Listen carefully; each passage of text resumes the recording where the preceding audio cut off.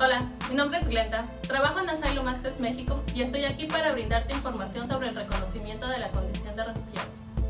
Si te viste forzado a salir de tu país, podrías ser un refugiado.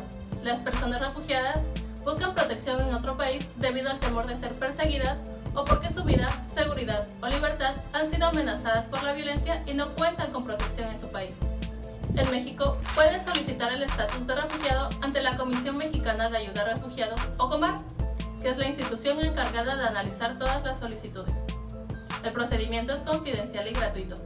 La Comar tiene oficinas en Tenosique, Tabasco, Tapachula, Chiapas, Acayucan, Veracruz, Ciudad de México, Monterrey, Nuevo León y Tijuana, Baja California.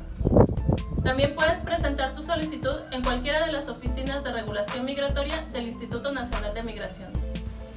Para presentar tu solicitud cuentas con 30 días hábiles a partir de tu ingreso a México. Los días hábiles se cuentan de lunes a viernes, sin incluir sábados, domingos y días festivos. Si no pudiste presentar tu solicitud en ese tiempo, deberás explicar los motivos que te lo impidieron.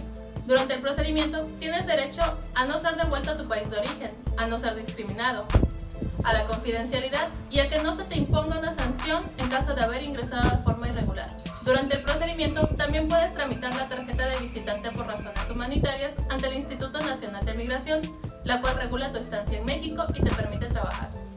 Y la clave única de registro de población o CURP, que te da acceso a trámites y servicios públicos.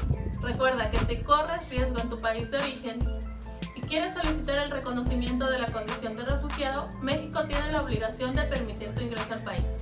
Si eres detenido e ingresado a una estación migratoria, también puedes acceder al procedimiento. En todo momento tienes derecho de hablar con un asesor legal. Si necesitas más información y orientación, comunícate a los teléfonos que aparecen a continuación.